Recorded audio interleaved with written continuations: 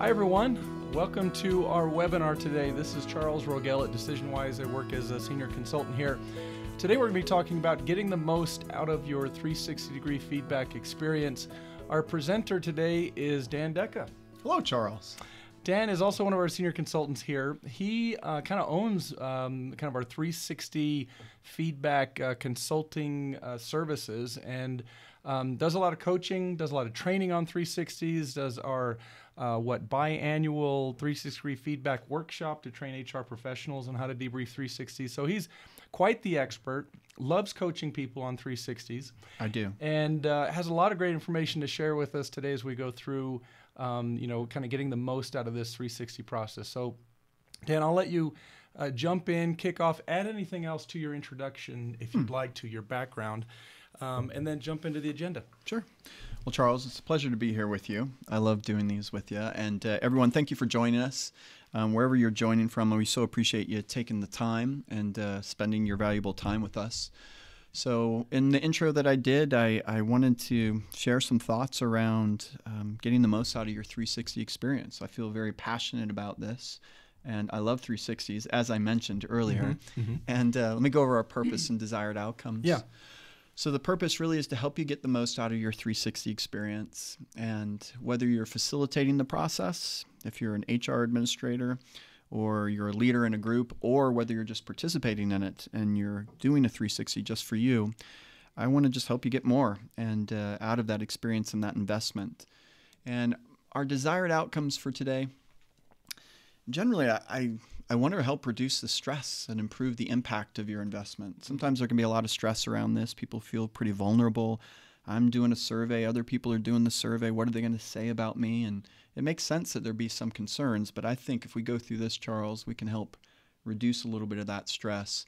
And the pattern that we're going to take and the path that we're going to take is I'm going to outline some actions and questions that actually make up the 360 process and timeline so you can see what that path looks like.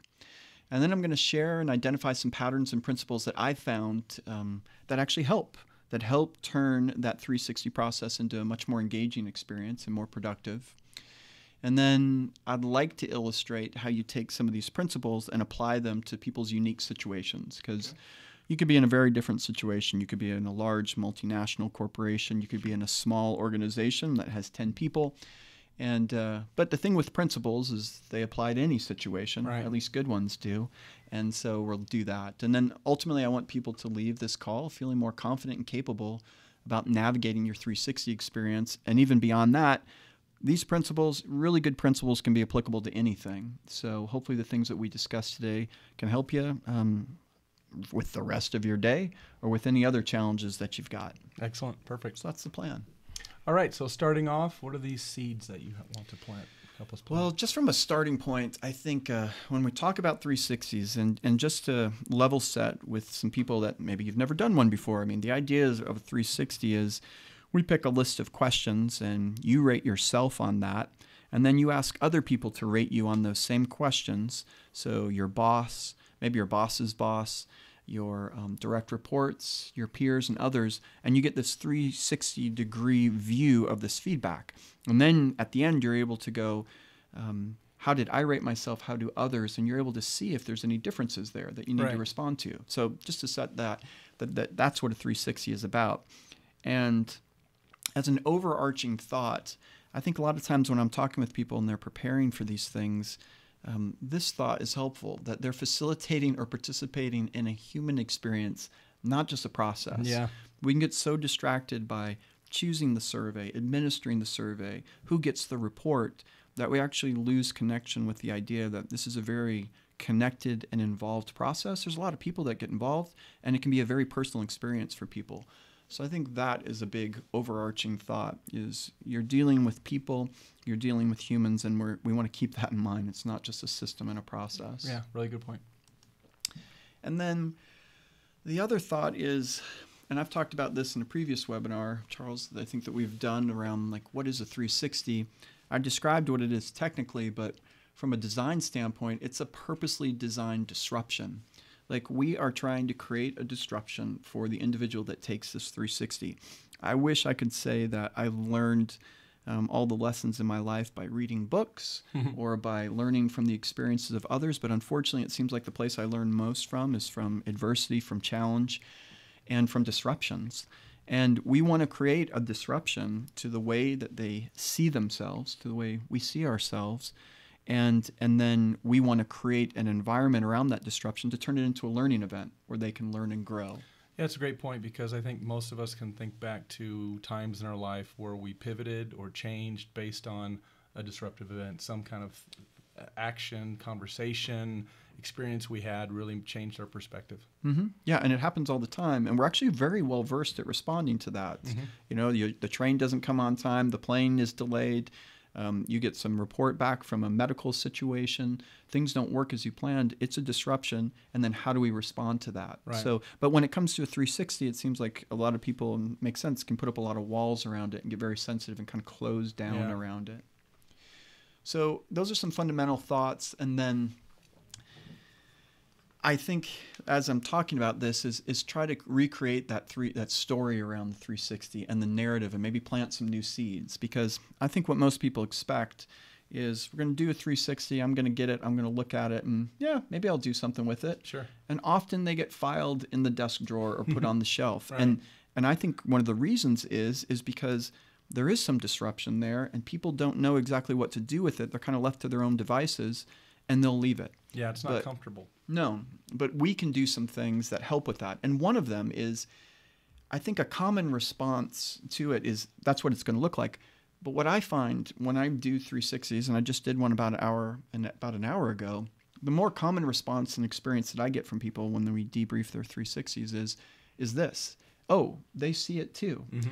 You know, or and and I hear people say, well, there's, there's no big surprises in there other than actually one of the surprises is they think I'm doing a lot better than I think I am. yeah.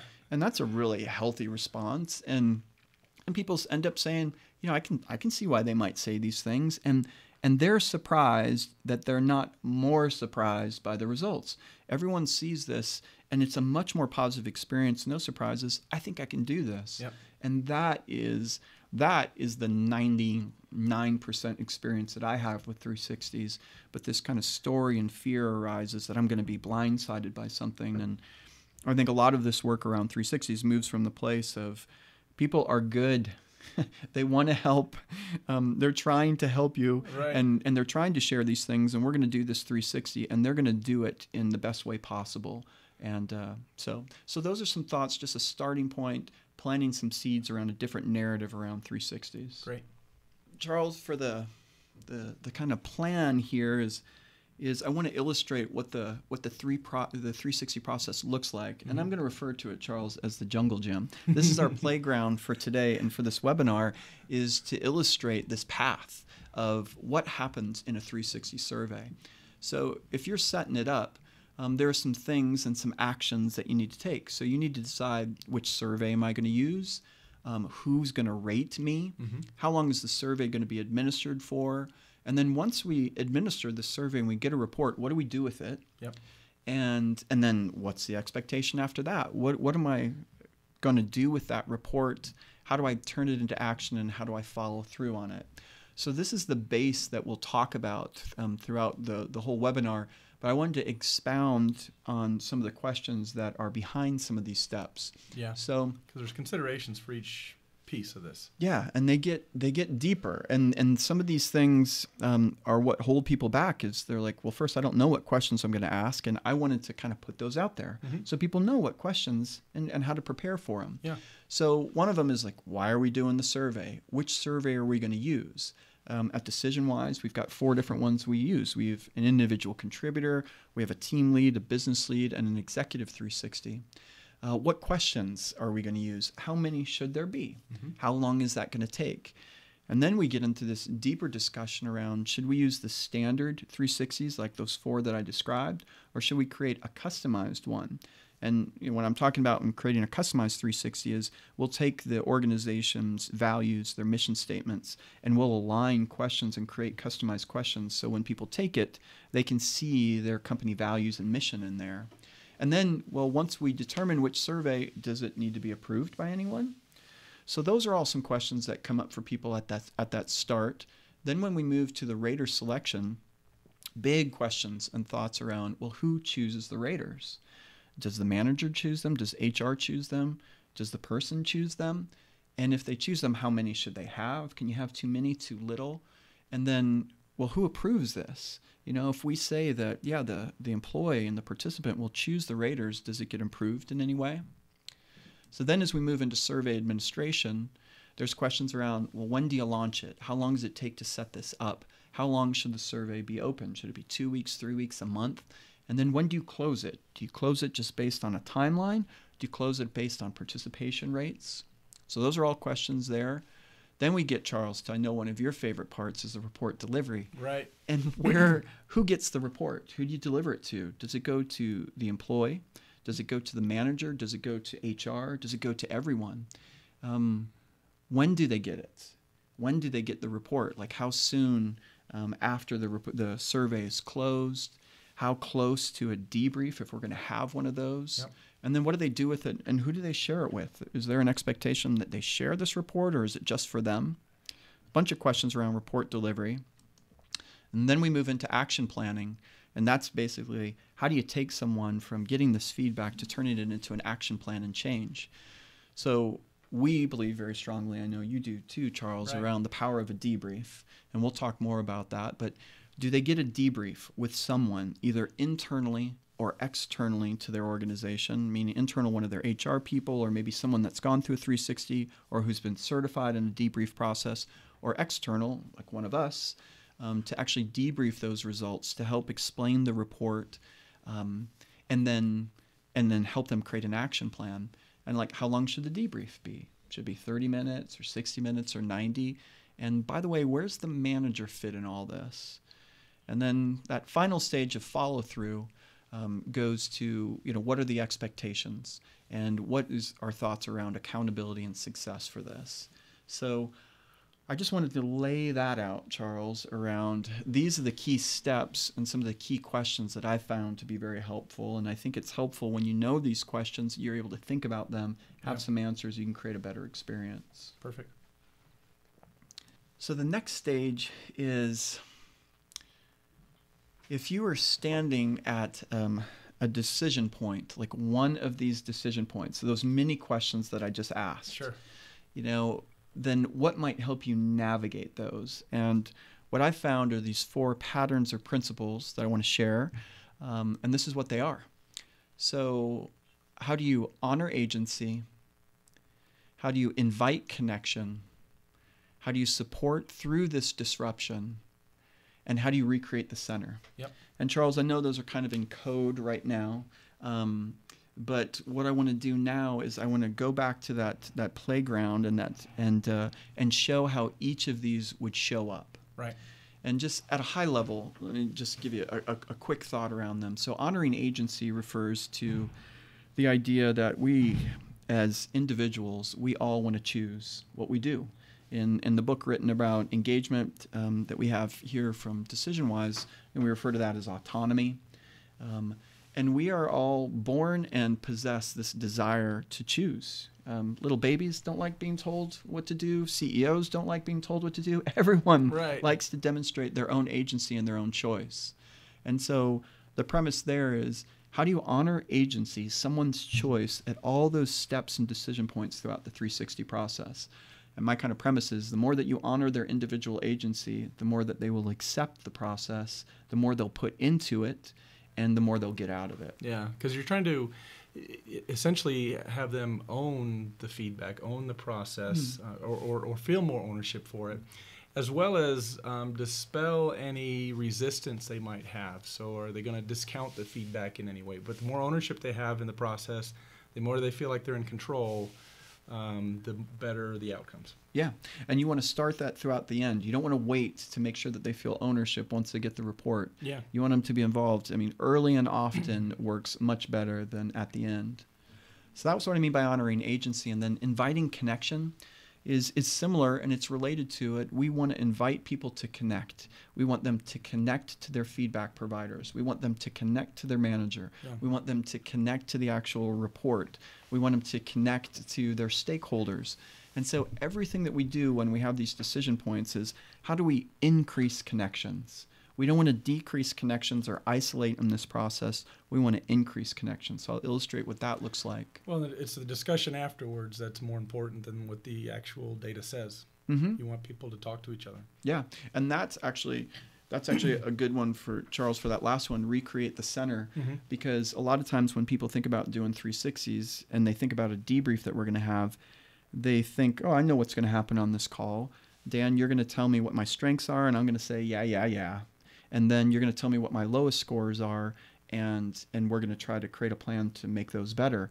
And I'm like, no, that's not what we're going to do. What we find to be much more effective is to recreate the center, actually at the center of the debrief conversation, and ask someone and build everything around the debrief around this one question what are the one or two most important things you want to accomplish in the next six to 12 months and let's have a debrief about that and let's use the 360 feedback and see what it says and how we can accelerate the attainment of those goals Mm-hmm. so we recreate the center and move it from it's around the 360 process, it's around the 360 report, and we move it to it's around helping you achieve the goals that are most important to you.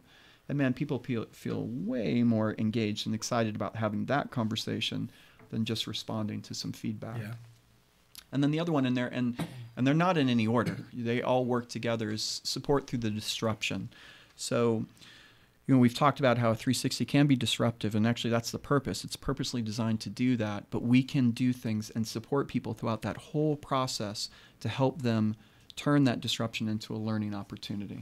Great. So, and my hope, honestly, Charles, is I mean, we do a lot of work around engagement. Mm-hmm. And uh, you could take these principles and, and, and apply them to engagement work too around, hey, how do you honor the agency and the choice of everybody doing that engagement survey? Right. How do you invite them to connect, support them through the disruption? And how do you recreate the center, not just around the, the, the report of the engagement survey, but actually what are the goals for the company? So I'm, I'm hoping that these things can be applicable to a bunch of different situations. Yep.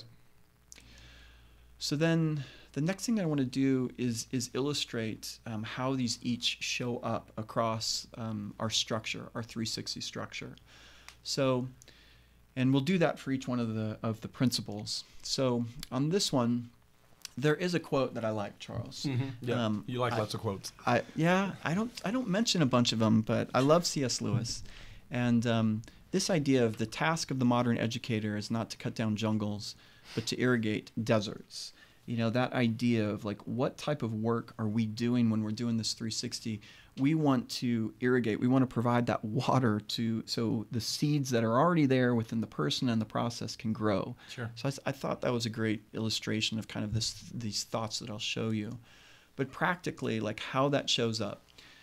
When we're starting off a 360, um, when we do a scoping conversation, I'm going to ask whoever the person is, whether they're do they're facilitating the process or or they're the one that's going through it, what do you want to achieve?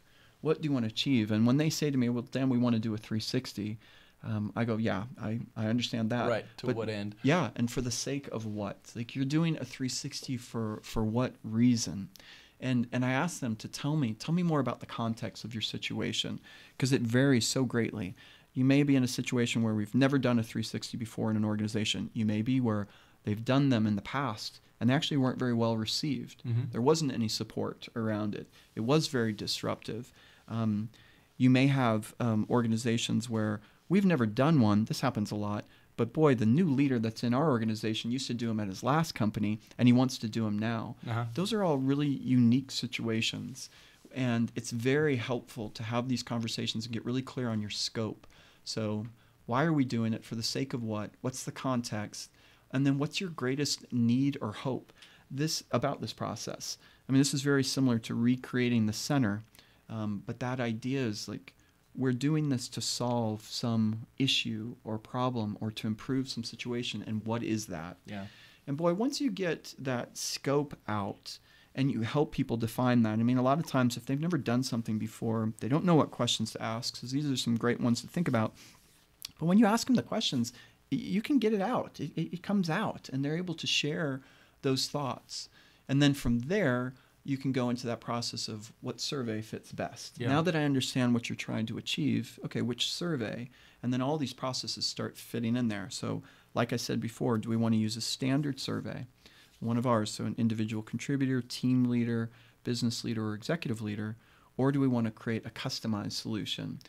Um, those are some very helpful conversations to have to set up that structure. Yep. Okay.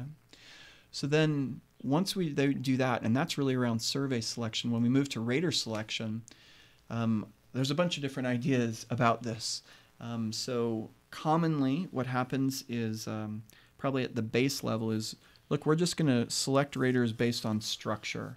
So we're going to have your manager do it because you report to your manager. We're going to have your direct reports, and we're going to have your peers, and all of those are just standard in our reporting structure. Yeah. That's kind of like the base. And so we have that. Um, there's no real discussion about that. It's just like that's who it is. But then you could add more. You could add others. You could add customers. You could add an other category. Mm-hmm. And there needs to be some conversation about that. So that's when we get into this conversation of well, well, who chooses those? And in general, when you look at this honor the agency that they have, I'd encourage people to let let the participants select Mm-hmm. who they would like to be rated on. And so, and an idea is let them suggest their feedback providers. Um, and there's a question like how many? I'm like as many as makes sense. There's no systemic, you know, problems on the reporting side to be able to put those numbers together. We can consolidate all that information, but we want to be practical. We don't want to put a, an overdue burden on an organization. So maybe if you have 20 direct reports, maybe you don't need to do all of them. You can do a sampling of them Sure. so you can make those choices and and then after the employee suggests this is who i think would be great i strongly encourage them to involve their manager and have a discussion about that. Yeah. and share that list and say you know what? We're doing going through the 360 process. Here's who i think would be helpful. Is there anyone else that you think would be helpful? And and uh, i think that process is a really good idea for a couple reasons. You got to involve the manager in the process in some way. Yeah. and and you want to involve, involve them earlier um, and also they help provide some perspective. Like you and i if we're putting a list together yes we're going to be leaning towards choosing people that we know that have very positive interactions with us. Mhm. but there may be others that that we don't have the best interactions or the best history but their feedback would be super helpful. Sometimes having a third party or a manager can help us do that. And I'd say, you know, general rule of thumb, you know, you at least want to have, you know, two people in each category, two peers, two direct reports, two others. That's how you see results. But um, you know, more you want to make sure the people you're including can answer the questions. And so as you Mhm. read through the survey and you think about would people in this other category, maybe this other administrative person I work with, would they be able to, you know, respond to all these statements here? And as you're reading through the survey, you get a better idea of, oh, I see what we're what we're Mhm. asking of them. Uh, that helps me decide who to include. It's great. Yeah, and those numbers, you know, you mentioned, you know, two, yeah, at least two, so we can report out on that data. But you probably want to ask a few more of those Oh, yeah. because maybe somebody's on vacation, maybe Yeah. somebody doesn't get to it, and so yeah, we want to we want to help people through that process. So the idea there is honoring their agency, let them be involved. The more involved that they are, um, the more commitment that they're going to have to it. Yeah. And then in terms of survey administration, you know, a lot of times you, when we have conversation like, when are we going to do this? We obviously want to consider what's going on. Like right now, we've got a lot of clients and we're trying to fit 360s in around the holidays. Mm-hmm.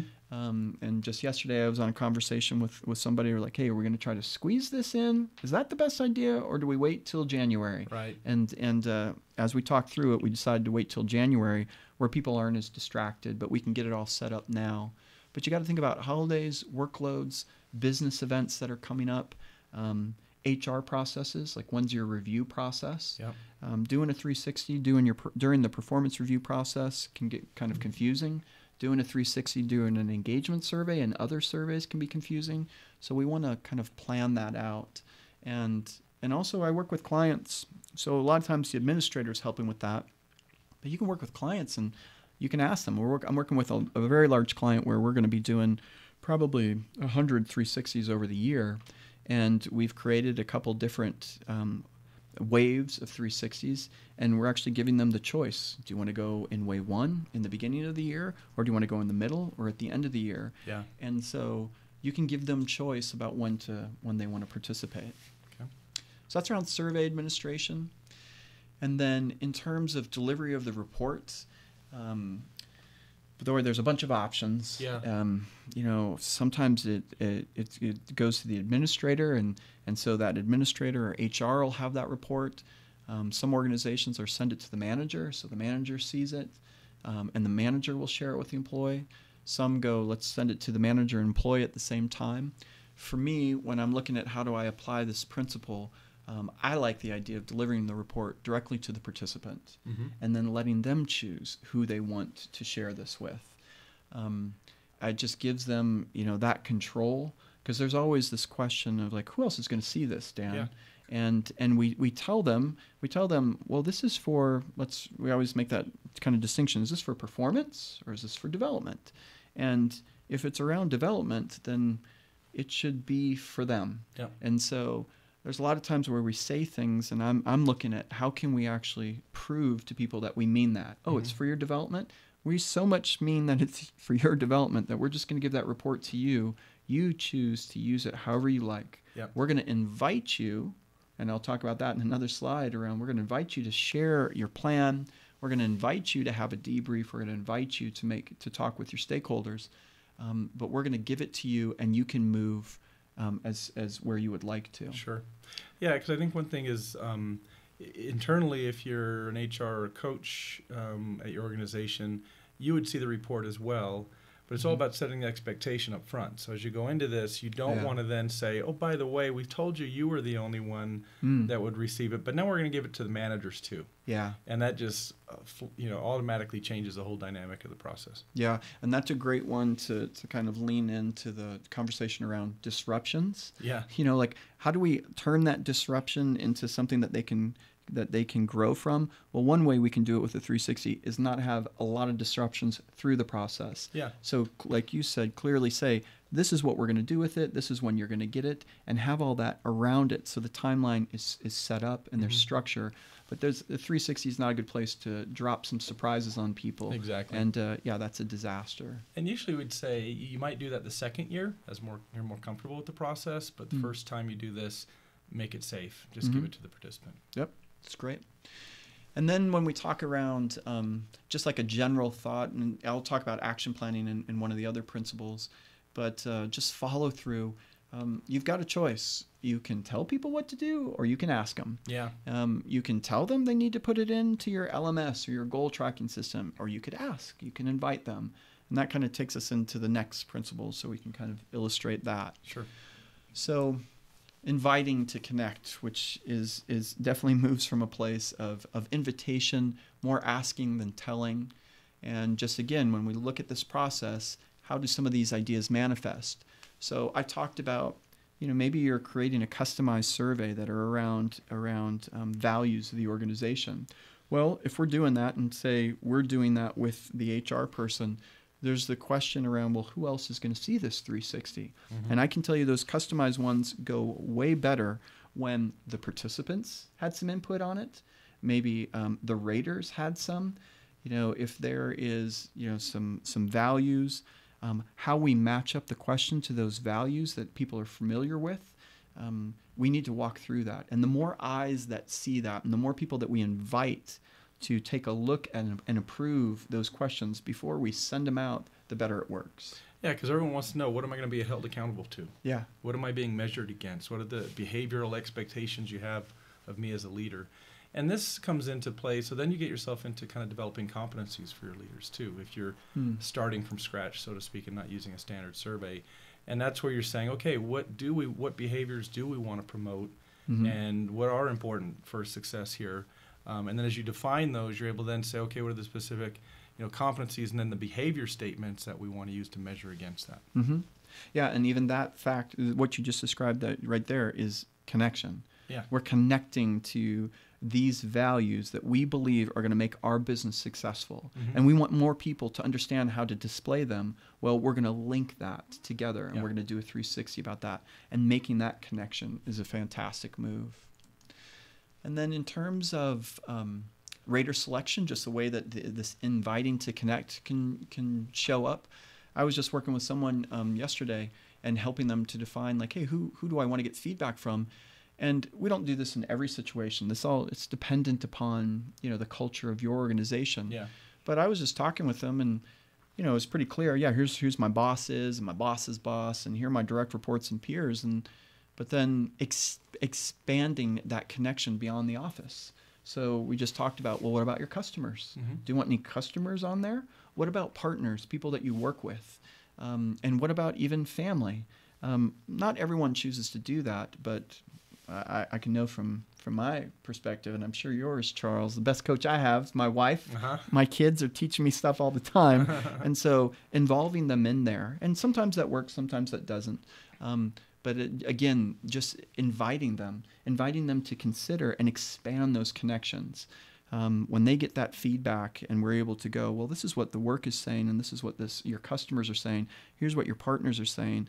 Um, when it all lines up, it's a very strong message. When there's some differences between those groups, and we sh- we say, why are you showing up a little bit differently there? Why why is that's really interesting? Yeah. And we talk about that. That can be very enlightening. And then when you see that and you're like, well, there's one group of raters that I'm I get very positive ratings from, and others a little bit lower. The thing that I'm moving from normally is, well, look, here's proof that you can do that. Mhm. You know, it's and now how can you take that? So maybe your direct reports ratings are very high, your peers a little lower. What are you doing with your direct reports that you can do with your peers? And that's a very encouraging thought as opposed to I need to start from scratch and kind of redo the jungle of just no, I actually just need to ir- irrigate some of these relationships Yeah. in the same way that I'm currently doing now. And so I think that's how that shows up. And then in terms of other ways that inviting them to connect, we talked a little bit about this, but connecting the timeline to key events, business cycles, outputs, review cycles. And in terms of the report delivery, um, we invite them, I invite them to share. And I don't know, I don't know for you, Charles, and, and uh, what a lot of clients ask you, but a lot of times they ask me, Dan, should I just share my report? And and a lot of people that we work with, they're work they're busy and they're working for busy people. And what I end up saying to them the majority of the time is, look, your busy boss is less interested about the report. And I tell you what they're really less interested in is describing in question number 22 why they rated you lower than you rated yourself. Right.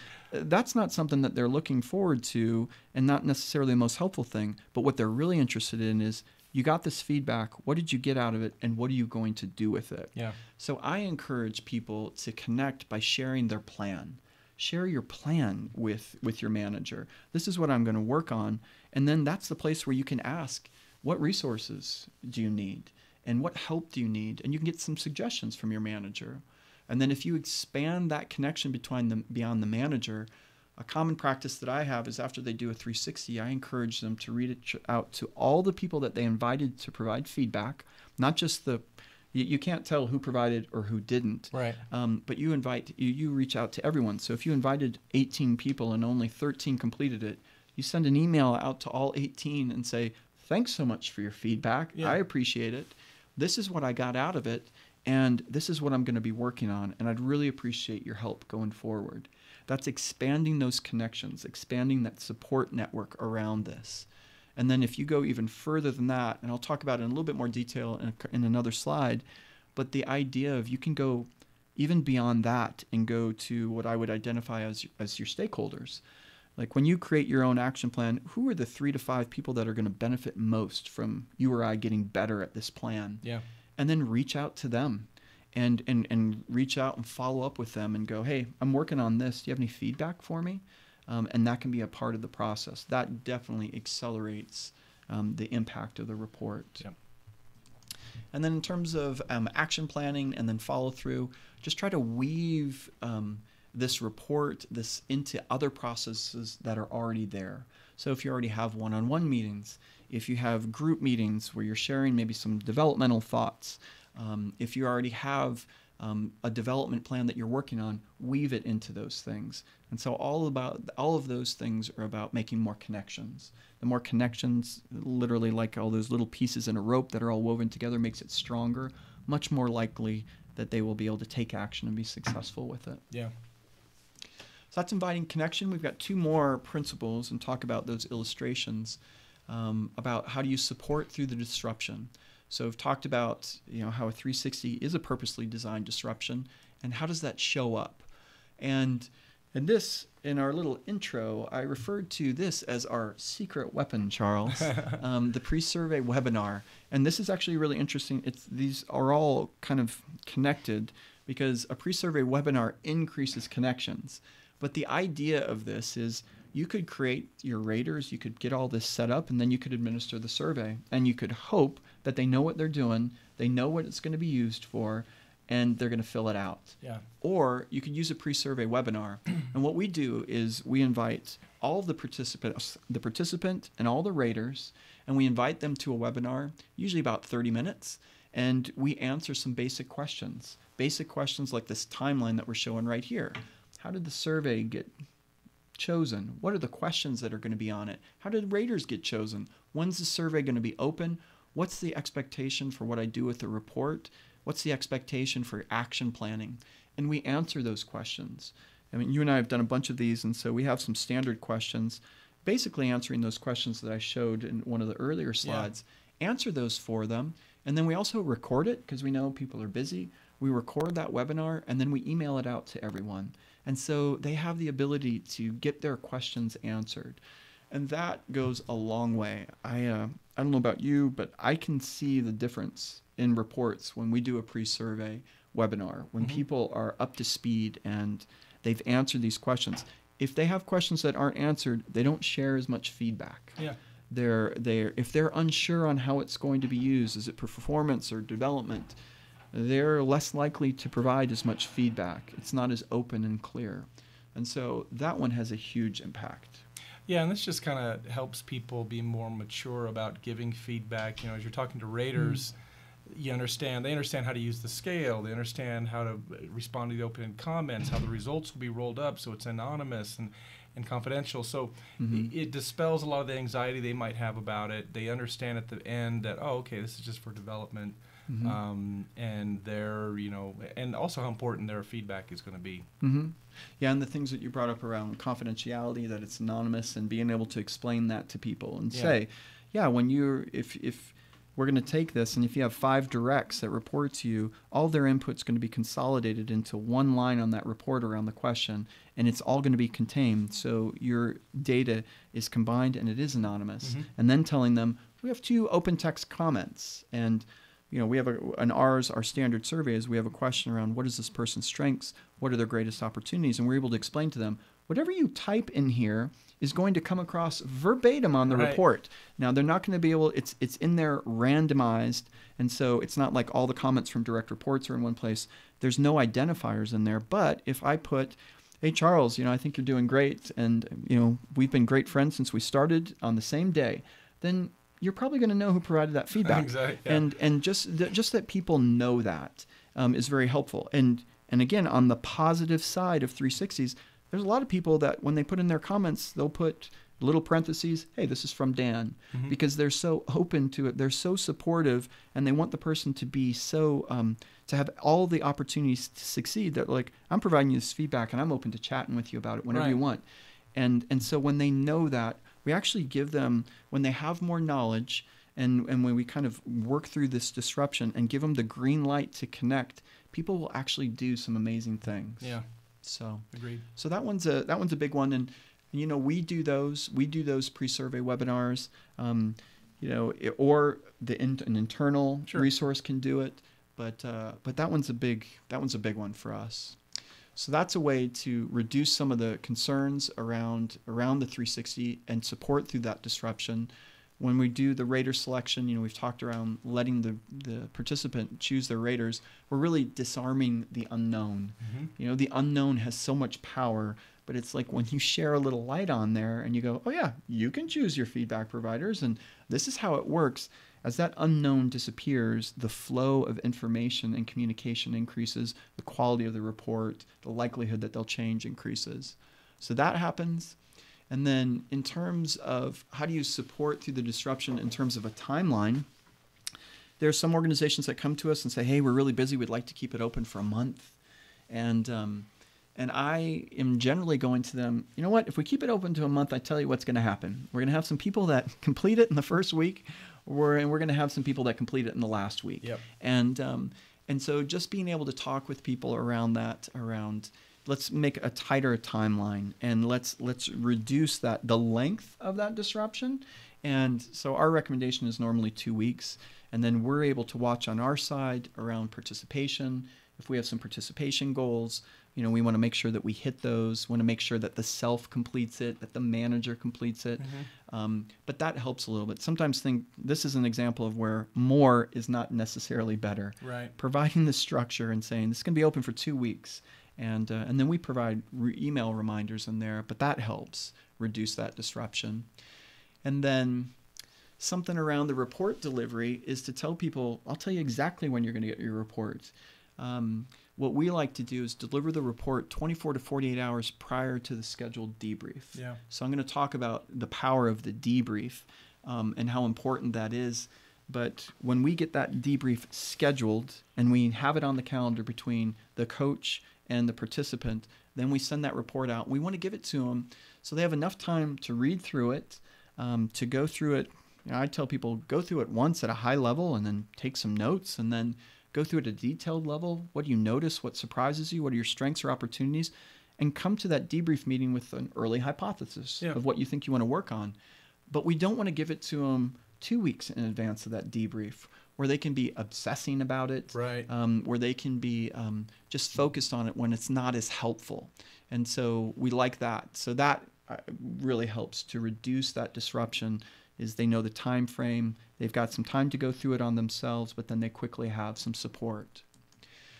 And this one um, around i think one of the biggest ways to reduce this disruption is is through a debrief. And and charles i know you like this quote um, but uh, we don't learn from experience. We learn from the debrief of right. experience. Yeah. And um, i mean there's so many examples of that. You know like you don't necessarily learn um, from a crash. You know, maybe you're snowboarding or you're or you're mountain biking and you crash, but you learn from the debrief of it of mm-hmm. just like, hey, what did I do? And did I hesitate or did I go too strong or was I too hard on my front brakes if I'm mountain biking? And then even in a meeting, you know, we'll have a meeting and we don't necessarily learn from that. We may have some experiences and some feelings of like that went really well or that didn't go that well but where we really learn from is the debrief of that. Yeah. To be able to go and have a conversation with somebody. Hey, what did go well? Because if you just go, it went well, you can't do much with that. But if somebody tells you it went well because you had a purpose and a desired outcomes and an agenda, boy, that's reinforcing. I can move with that. Or it went well because you admitted you didn't know what you were doing, Dan, and uh, and you were stumped. Um, just opening that up. So it's the debrief of experience. So, getting specific on that, we find that it greatly helps when someone has a debrief. And there's always the choice do you want to do it with an internal consultant? Do you want to do it with an external resource like us? Um, there's pluses and minuses to both of those. Um, those debriefs can be 30 minutes, 60 minutes, 90 minutes. Um, and that is a critical part. And, and I'll talk in the next slide around like what we actually do in that. Um, but what, yeah, actually, this is the right time. What we do in that is is um, we actually help answer the questions about the report, how to read it, which point differentials are important and significant, which ones aren't. How do you look at a 360 report? I was just talking with someone today with a financial background, and I said, This is not an income statement. Yeah. Um, we are not talking about decimals. a 360 report is thematic, it's looking at themes. And so just helping people to understand that. And then we help them to create um, an action plan and an action plan that's most important to them.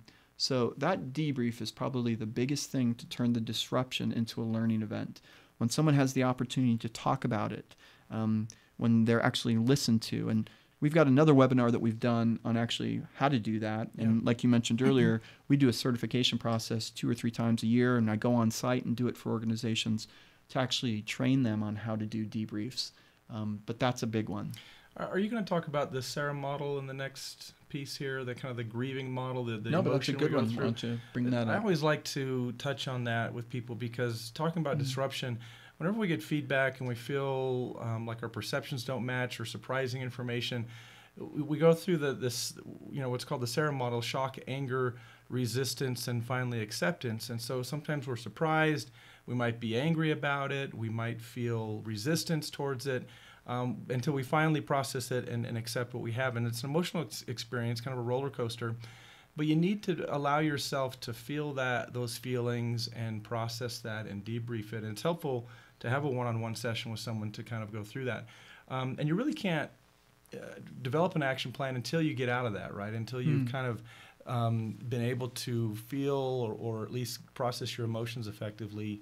Uh, otherwise, if you're stuck in resistance, you won't want to really do anything. Yeah, you won't listen to it. You're not open to that feedback.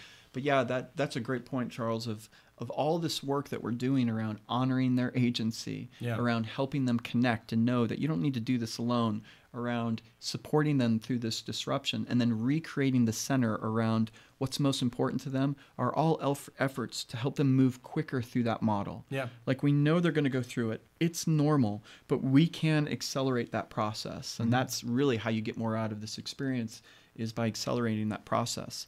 And just one thought on that too, when you talked about acceptance, I, I sometimes tell people, and they're pleasantly underwhelmed by my response of what does acceptance of a 360 look like? Yeah. What a lot of times people come to it and they think is, I'm going to do everything in there that people told me to. And I'm able to tell them, uh, no, you don't need to do that. Um, let's pick one of the most, what are your most important goals that you want to accomplish in the next six to 12 months? Okay. And then what does the 360 say about helping you achieve that? Let's pick one or two of those things. And, and that happens, and acceptance does not say and sound like I'm going to do everything. Acceptance sounds like, you know what? I can see why people would say these Sure. things. I get it. I get it, and I'm open to focusing on one or the two of these things, and I'm open to having a conversation about this. That's acceptance, and that's a lot different than a lot of times people think. Um, it's kind of like a, a big burrito. I got to eat this whole 360 burrito in one bite. I'm like, if you do that, you're going to get sick. But if you take a little bite here, a little bite there, put it down, maybe have something else, and come back to it, it's actually a very pleasant experience. So yeah, those are great. Um, how do you help people move through those through that change model? And then our last one, um, our last principle that, uh, well, just this idea that you don't have to do this alone. That's Mhm. that's both around encouraging thought around a connection and around um, lowering disruption. The next one that we go into is recreate the center, and I've referred to this several times. But when we look at this process and we go through this, um, we're starting it at the beginning and asking them, "What do you want to learn? How can this help you?" And making that association and recreating the center. That the center of this process is not my organization or my boss is telling me that I have to do a 360. Right. The organization is presenting you and inviting you to participate in this process. And what we're going to do is we're going to do this to help you improve on the things that are most important to you. That's a very different mindset. Yeah, and I was going to add, you know, sometimes we have this negativity bias where we, we hyper focus on our low scores. We get distracted by the overall message of the 360, and we end up maybe taking a direction, like you're saying, that's not congruent with what we're trying to accomplish this year. So, Mhm. really, the recentering piece is is this feedback I got a low score? Is it even relevant to my Mhm. success? How do I want to incorporate this? hmm Yeah, because I've uh, I've done 360s in the last month where they got some feedback and uh, they've changed roles. And in the previous role, the work with their peers was absolutely critical. Like they couldn't get their job done without their peers. But now they're in a new role, and the most important relationship they have now is with their direct reports. Yeah. So the 360 may be highlighting you really need to improve this relationship here. But when we look at what's most important now, I'll ask them how important and critical is that group for your success to achieve these goals. And uh, it's very relevant, Mhm. making sure that we're matching our strategy to the situation. So recreating the center happens there. Um, recreating the center makes also happens when you're doing ra- rater selection. Mhm. Who are we choosing? The people that are most important to you to Yep. help you succeed and get this feedback. And then it can show up around that report delivery, recreating the center. Who does it go to? It goes to you. And then I've referred to this, and this is kind of the big portion of this, but just walking through it one more time around recreating the center. We ask people in that debrief what are the one or two things that are most important to you that you want to accomplish in the next six to 12 months. And we create the entire debrief around that. Yep. And that is so powerful. Like I can hear that. I usually get to that point probably within the first two minutes of a 90 minute debrief. You're right. Yeah, like I'll get on there and I'll say, "Hey, welcome. How you doing today? Here's our purpose, desired outcomes. Is there anything else that you want to accomplish today? Okay. Have you done a 360 before? And if they say no, I go, "Well, you know, a common perspective is we're going to go over the strengths. You say, yeah, yeah, yeah. We're going to go over the lowest points, Sure. and we're going to try to make them better." And then I tell them this. Well, actually, we don't do that. What we're going to do on this call is we're going to you're going to have you describe what are the one or two most important things, and we're going to build around that. We're going to look at this 360 and see what it says about accelerating your progress on that goal. I can feel it over the phone, whether in there in Malaysia or India or Switzerland um, or here in the U.S. I can feel this shift of energy and this this ownership and comfort that happens around it's about me. Mm-hmm. And it's interesting that recreating the center in that process, it honors their agency. You know, instead of just we're just you're just going to do whatever the 360 yeah. says, it's like you're going to choose what you how you want to use this 360 wow, that's very empowering. Yeah, because most people they get on the phone or they sit with the HR person and expect to be told what to do as from the report. Yeah, yeah, and that that's actually a challenge that we have to talk through sometimes with people. Sometimes that shows up around mm-hmm. around that. Uh, you know that that obedience and i'm going to do whatever someone else says and sometimes it's challenging when i ask people about this uh, usually in a business environment they can say yeah these are the goals i need to accomplish but when we connect that to the power and the energy that's present there everything else moves and flows in a very different way. Yep. So that's that's a big thing. And then when we're going through the debrief, we'll just keep coming back to it. We'll look at a question on there and go, "Hey, there's a difference here." And then we'll ask, "How does this relate to your goal? Is this question important and critical?" Yes, it is. Okay, let's get into it. No, it's not. Okay, let's keep moving on. So it just changes it changes that whole interaction. So so Charles, that's uh that's that's our, our main structure. Yeah. You know, and that's the ideas. I wanted to illustrate what that plan looked like, what those key questions were, and then how you take these principles and apply them. So those are the key ones. And I'd encourage if you have any other questions or ideas or suggestions, reach back out to us, either Charles or myself. Um, my contact information is up here at the end of the slide because um, I'd love to hear your thoughts about it and how mm-hmm. to continue to make it better. So in terms of just kind of wrapping up, and I do have one more. Uh, I have one more resource slide for you, Charles, because yes, yes. I'm actually working with some clients, and they asked me like, Dan, are there any books or resources or things that I should watch or or read to get better at 360s? And I've developed that, so I've got that for you. But just kind of to review this of like, how did we do? Um, just asking you, you know, the purpose of today's webinar was to help you to get the most out of your 360 experience. And do you feel better equipped to get the most out of this experience mm-hmm. and investment, whether you are administrator or participant? And then in terms of our desired outcomes, have we lowered your stress? I hope that there is less stress around this process and less stress around this process for the following reasons. Do you now understand, you know, what these basic steps and these questions that you've answered? Can you apply these principles? honoring agency, inviting connections, support through disruptions, and recreating the center. Can you apply those? And then do you feel more confident and capable around the 360 process? So, my hope is that you are. You know, the intent of this was to share these these conversations that I have with people quite often and put them in a way where more people can leverage them. Yeah. So hopefully that was uh, that we achieved our purpose and desired outcome. Yeah, and I, and I think most uh, you know the big question a lot of people have, especially in HR, as they're trying to roll this out, is buying, getting buy-in and support from the senior leadership as well as the other leaders that are going to do this. Because a lot of people think, oh, why do we need to do a 360? We give each other feedback all the time, you know. So uh, this helps you to kind of um, lower the barriers, hopefully, that you're encountering, you know, trying to sell this internally. Great. Yeah, it's super helpful for that. And then the last thing that I have for you um, is uh, just some resources. And um, when I thought about them in terms of books that I've read that have been most helpful for me to manage this 360 process and help people go through them, these four came to mind. So, really quickly The Great Divorce by C.S. Lewis, one of the best books ever to read about why people don't do the things that we think they should. Mm-hmm. So, fantastic book. and then from Thich Nhat Hanh around how to relax. Um, just a wonderful book. We're trying to help people relax through this process. Yep. To debrief, the more relaxed we are, the better. One of the best books I've read, honestly, about engagement has been written here at DecisionWise by Tracy, Engagement Magic. Um, and it's a great application of taking those concepts, engagement concepts of meaning, autonomy, growth, impact, and connection, and applying them to our 360 process and to our work. And then if you want to go deeper into connection, one of the best books I've ever read about connection is by Johann Hari.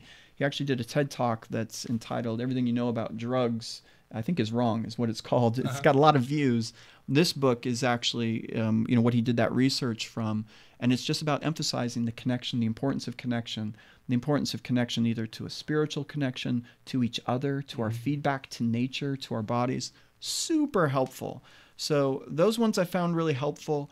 And then actually, Charles, in terms of, of other resources, Right.